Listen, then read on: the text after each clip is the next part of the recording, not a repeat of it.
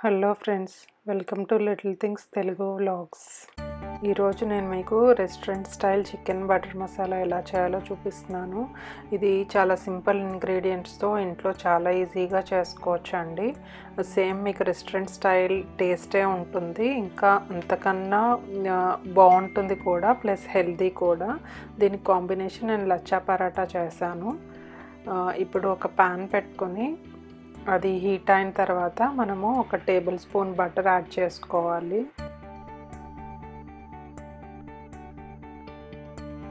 ఈ బటర్ని కరిగించుకోవాలి. Butter మాడకూడదండి. So కదుపుతూ ఉండాలి. ఇప్పుడు అందులో నేను కట్ చేసుకున్న ఒక నాలుగు పచ్చిమిర్చి వేసుకున్నాను. సో మీకు కారం బట్టి మీరు యాడ్ చేసుకోండి. మనం ఇందులో కారం కూడా యాడ్ చేసుకుంటాం కాబట్టి చూసి యాడ్ చేసుకోండి. నాకు మరీ స్పైసీగా లేవు కాబట్టి నేను ఫోర్ వేసుకున్నాను. ఇప్పుడు ఇందులో నేను ఒక మీడియం సైజ్ ఆనియన్ ఇలా స్లైసెస్ కింద కట్ చేసుకున్నాను రఫ్గా. అది యాడ్ చేసుకుంటున్నాను. ఈ ఉల్లిపాయ లైట్గా వేపించుకోవాలండి. ఇప్పుడు ఇందులో నేను ఒక ట్వంటీ ఫైవ్ అలాగా జీడిపప్పు బద్దలను వేసాను లైక్ మీరు ఒక గుప్పెడు వేసుకుంటే సరిపోతుంది. ఈ జీడిపప్పును కూడా మనము దూరగా వేయించుకోవాలి. ఈ జీడిపప్పు కూడా వేగిన తర్వాత నేను కట్ చేసుకున్న రెండు మీడియం సైజ్ టొమాటోస్ని యాడ్ చేసుకున్నాను.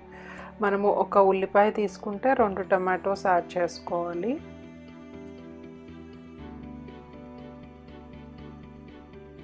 సో వీటిలన్నిటిని కలుపుకొని నేను అందులో ఒక టేబుల్ స్పూన్ అల్లం వెల్లుల్లి పేస్ట్ యాడ్ చేసుకుంటున్నాను.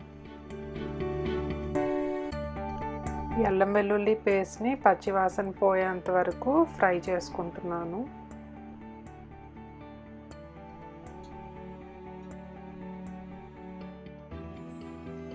ఇందులో మెయిన్ ఇంగ్రీడియంట్ వచ్చి జీడిపప్పు అండి. జీడిపప్పు మూలానే మనకి కర్రీకి మంచి టేస్ట్ వస్తుంది.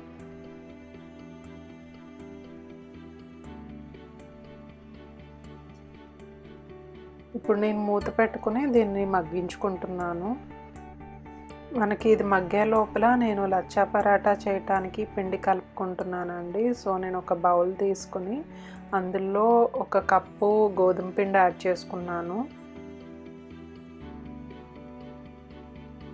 సో నేను ఇదైతే మెజర్మెంట్ ఏమీ చూసుకోలేదు. జస్ట్ ఒక ముగ్గురికి సరిపడి చేస్తున్నాను. ఇప్పుడు ఇందులో నేను ఒక హాఫ్ టీ స్పూన్ ఉప్పు యాడ్ చేసుకున్నాను. ఇదంతా కలిసేటట్టు కలుపుకొని ఇప్పుడు ఇందులో కొంచెం కొంచెం వాటర్ పోసుకొని మనం చపాతీ పిండి కలుపుకోవాలి.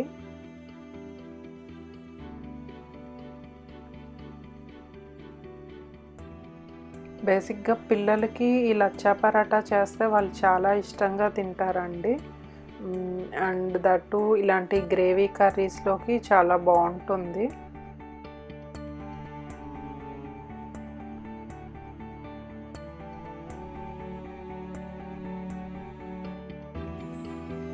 పిండిని కొంచెం గట్టిగా కాకుండా నే నేను మెత్తగా కలుపుకుంటాం నాకు అలవాటు.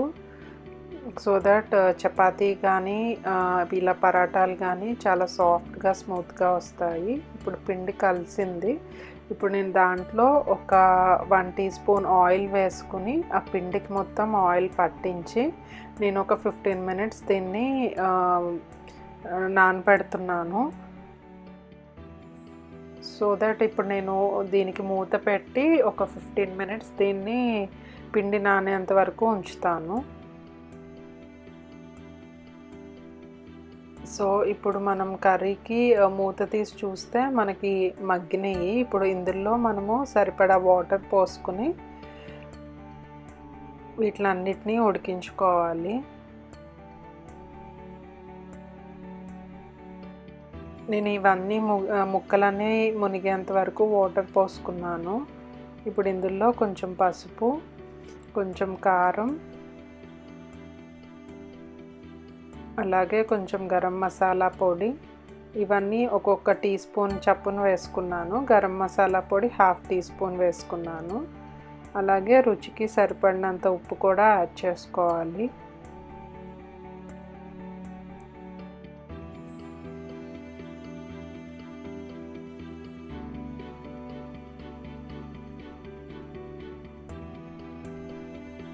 ఇప్పుడు మనం దీన్ని మూత పెట్టుకొని మగ్గించుకోవాలి.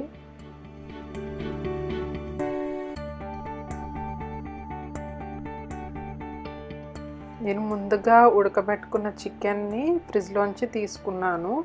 సో మీకు ఈ రెసిపీ కావాలంటే ఐ బటన్లోని ఇంకా డిస్క్రిప్షన్ బాక్స్లోని అప్డేట్ చేస్తున్నాను. చూడండి. సో ఇప్పుడు మనకి ఉడికిపోయింది. ఇది కొంచెం చల్లారిన తర్వాత మనం మెత్తని పేస్ట్ కింద గ్రైండ్ చేసుకోవాలి.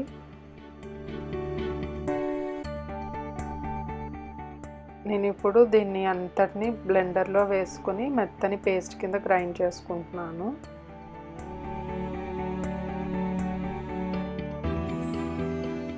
ఇది గ్రేవీ బేస్ అండి. మీరు ఇందులో కావాల్సే పన్నీర్ వేసుకుంటే పన్నీర్ బటర్ మసాలా అవుతుంది.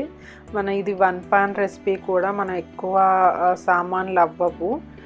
సో నేను ఇప్పుడు అదే ప్యాన్లో మళ్ళీ ఇంకొక టేబుల్ స్పూన్ బటర్ యాడ్ చేసుకున్నాను. అది కొంచెం కరిగిన తర్వాత ఇందులో నేను జీలకర్ర ఒక ఐదు లవంగాలు కొంచెం దాల్చిన చెక్క వేసుకొని అది వేగేంత వరకు వేపించుకుంటున్నాను. ఇప్పుడు మనం మెత్తగా గ్రైండ్ చేసుకున్న టొమాటో ఆనియన్ పేస్ట్ని ఇందులో యాడ్ చేసుకుంటున్నాను. నేను దీన్ని ఇలా వడకడుతున్నాను సో దట్ మనకి గ్రేవీ చాలా స్మూత్గా వస్తుంది.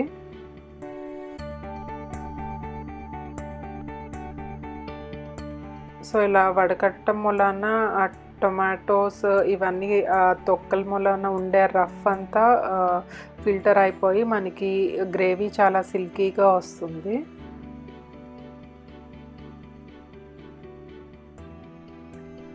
సో నేను నాకు తగ్గ కన్సిస్టెన్సీకి వచ్చేంత వరకు కొంచెం వాటర్ యాడ్ చేసుకున్నాను. ఇప్పుడు మనం ముందరగానే బాయిల్ చేసి పెట్టుకున్న చికెన్ని యాడ్ చేసుకుంటున్నాను. ఇవి inch bite pieces type cut చేసుకున్నాను నేను. ఈ చికెన్ రెడీగా ఉంటే మనకి ఇది ఆల్మోస్ట్ ఒక ఫిఫ్టీన్ ట్వంటీ మినిట్స్లో కర్రీ రెడీ అయిపోతుందండి. నిజంగా చాలా టేస్టీగా ఉంటుంది. ఇప్పుడు ఇందులో నేను ఒక one and half tablespoon kasuri methi add చేసుకుంటున్నాను. ఈ కసూరి మేతి యాడ్ చేయటం వలన ఈ డిష్కి స్పెషల్ ఫ్లేవర్ వస్తుంది. ఇదంతా కలిసేటట్టు కలుపుకుంటున్నాను.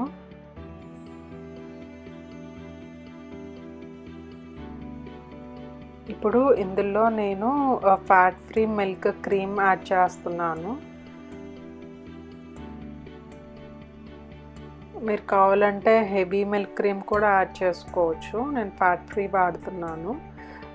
ఇది ఆల్మోస్ట్ ఒక వన్ ఫోర్త్ కప్ యాడ్ చేసుకున్నాను. మనకి ఇప్పుడు కర్రీ రెడీ అయిపోయింది. సో ఇప్పుడు మనం లచ్చా పరాటా చేసుకుని ఈ కర్రీతో తింటే చాలా బాగుంటుంది. సో ఇప్పుడు నువ్వు నేను పిండి నానింది ఫిఫ్టీన్ మినిట్స్ నానింది. సో నేను దీన్ని మళ్ళీ మసాజ్ చేస్తున్నాను.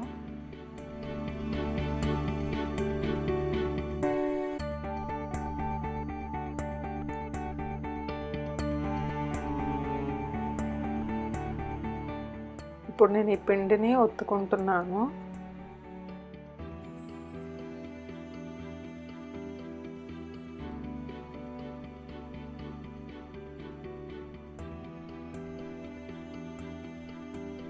సో ఫస్ట్ నేను ఈ పిండిని చ పల్చటి చపాతీ కింద చేసుకుంటున్నాను.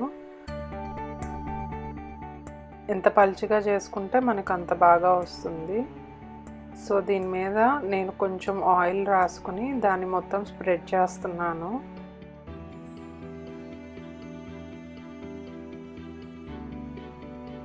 దానిపైన కొంచెం పొడిపిండి చల్లుకుంటున్నాను.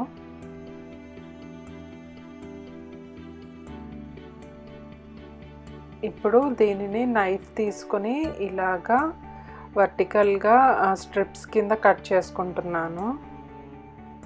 ఇది సన్నగా కట్ చేసుకుంటే మనకి ఆ లేయర్స్ బాగా వస్తాయి. ఇప్పుడు నేను ఇలాగా వీటిని దగ్గరికి తీసుకొని ఇలాగా నేను రౌండ్గా రోల్ చేసుకుంటున్నాను. ఇప్పుడు నేను దీన్ని పరాటా కింద ఒత్తుకుంటున్నాను.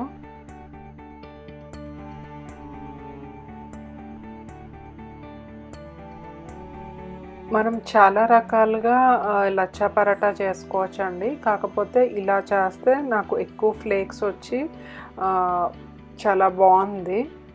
బేసిక్గా లచ్చా పరాటా అంటే మనం ఆ ఫ్లేక్స్ గురించే ఎక్కువ ఇష్టపడతాం కదా. సో నాకు ఇలా ట్రై చేస్తే బాగా వచ్చింది అండ్ సో నేను ఇలాగే చేస్తాను.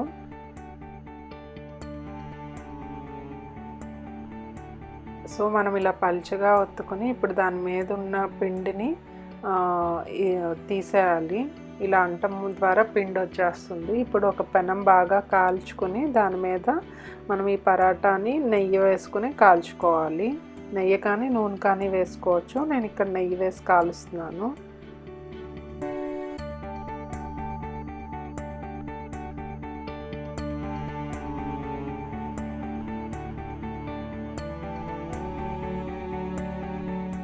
పిల్లలు ఈ రెండు కాంబినేషన్ చాలా ఇష్టపడతారండి.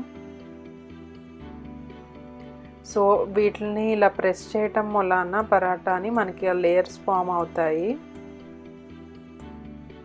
సో మన lachha paratha chicken butter masala ready అయిపోయింది. Thank you for watching.